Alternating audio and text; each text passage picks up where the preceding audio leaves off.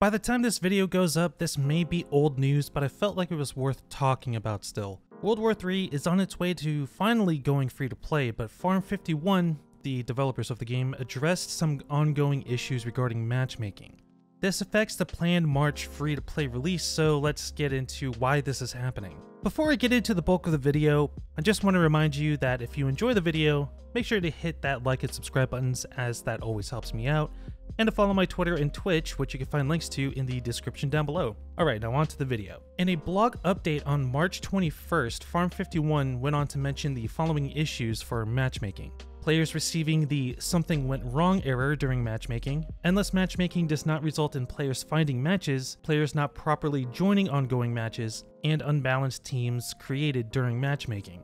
While I haven't seen these particular errors myself, it's apparent that enough players in the closed beta test are experiencing this and warranted looking into. I know that Farm51 mentioned in a previous update that matchmaking issues were resolved, but it's definitely possible that these new issues arose after the last update. From what I understand, game development and anything that requires coding in general usually has new bugs that show up after fixes are implemented. You know, fix one thing, break another.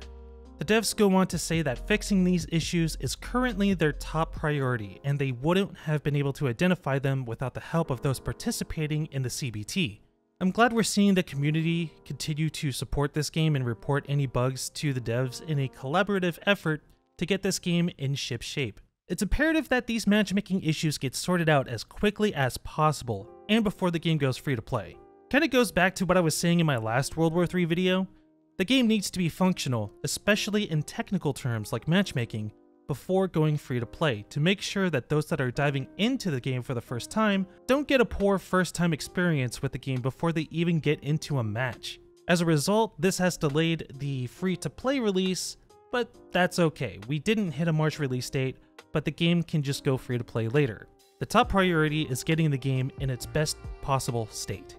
If you want to get involved, I recommend picking up the game while it's still in closed beta and joining the World War III Discord server. I just joined it myself and it has a pretty active user base, so you could usually find someone to chat with at least in the general channel. If you wanted to wait until it's free to play, that's fine as well. The Discord is still open to everyone, so definitely check it out when you get a chance. For those that aren't already playing World War III, the big question is this. Do I wait for the game to go free to play, or do I pull the trigger and pay the $15 entry fee? Ultimately, that's up to you, but if you find yourself with some extra cash lying around and you want to support the devs prior to the free to play launch, by all means, buy into the CBT and have fun. Purchasing the game is a great way to help support the devs monetarily, and I firmly believe that these devs deserve all the support they receive. On the other side of things, even if you want to support the devs, but that $15 is the difference between eating and starving or being able to pay your bills. I recommend waiting. Most players are anticipating an April release now, so if you don't mind waiting just a little bit longer, you'll be able to get into World War III when it goes free to play.